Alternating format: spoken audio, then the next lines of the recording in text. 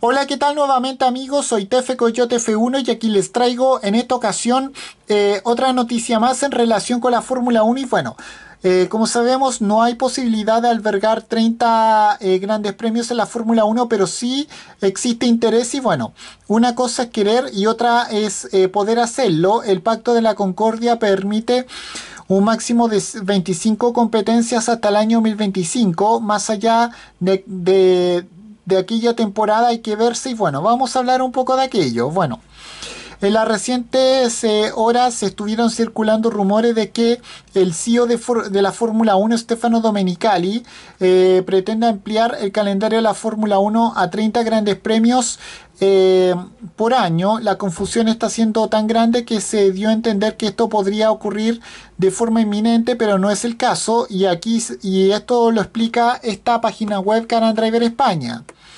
Bueno, hasta que no eh, termine el ciclo actual del, Pacto de la Concordia, acordado desde, 2021 hasta el año 2025, no se podrá ampliar el calendario más allá de 25 grandes premios.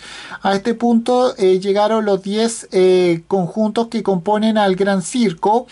Eso sí, en el año 2026 el rumbo de la Fórmula 1 podría cambiar. Así lo confirmó el presidente de la categoría reina del automovilismo mundial, Stefano Domenicali, eh, en una entrevista en exclusiva al medio Sky Sport que dice así, creo que hay potencial para hacer 24 y diría que existe potencial para alcanzar 30. Depende, depende de nosotros encontrar el equilibrio correcto considerando cuáles son los lugares que, quieren estar en la Fórmula 1 y cuáles son las citas históricas que necesitamos ver en el calendario. Bueno, eso respondió el ya mencionado Domenicali al ex piloto y comentarista británico Martin Brundle.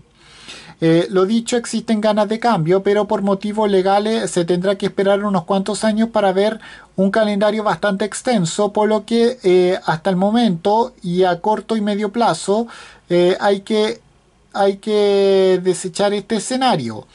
Bueno, en Avisión Dominicali confirmó que Estados Unidos también podría acoger una tercera competencia bastante pronto en el año 2023 y bueno, aunque existen más países candidatos de los cuales se habló en menor medida y bueno, eh, no son Las Vegas, hay otras ciudades que están interesadas en la Fórmula 1, además de Estados Unidos y de China, creo que también existe la posibilidad de correr pronto en África.